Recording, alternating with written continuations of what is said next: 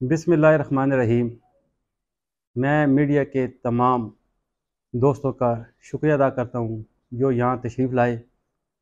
जैसा कि आप सबको मालूम है कि मैंने 2018 में आज़ाद ऐसी से सिलेक्शन लड़ा और मेरे साथ मेरी हल्के की आवाम ने भरपूर अतमाद का इजहार किया। और मैंने एक जीता हुआ इलेक्शन जो मुझे हराया गया था। तो इस दफ़ा इमरान खान साहब ने मुझे बुलाकर एक मुझ जैसा आम आदमी को उन्होंने मेरी सबका कारकर्दगी पर मुझे टिकट दिया, जिस पर मैं इमरान खान साहब का शुक्रगुजार हूँ। लेकिन ये नौ मई का जो सानिया हुआ जो फ़ौजी तनसीबात पर हमले हुए, इदारों पे हमले हुए तो मैं इसकी शदीद अल्फाज में मजम्मत करता हूँ। और जो लोग इसमें मुलवस हैं, इन लोगों को सख्त सख्त सज़ा देनी चाहिए। पाकिस्तान है तो हम हैं, पाक फौज है तो हम हैं। हम अपने पाक आर्मी, पाक फौज के साथ शाना बशाना खड़े हैं।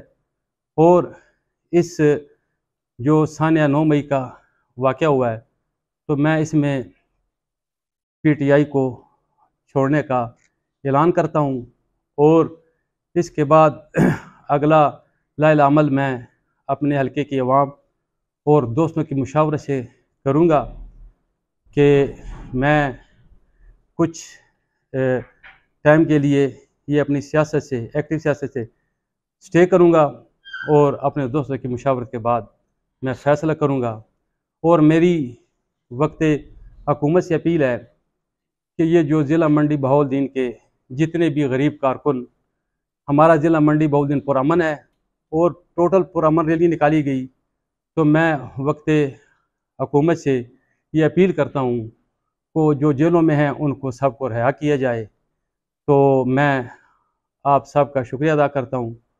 खुदा हाफिज़ वासलाम अच्छा खान साहब बताएँ कि पार्टी के बाद, उसके बाद कोई और सियासी जमात पार्टी या कोई भी पार्टी जी ये अभी इसके बाद मैं अपने हलके की आवाम और अपने दोस्तों से मुशावर के बाद करूँगा।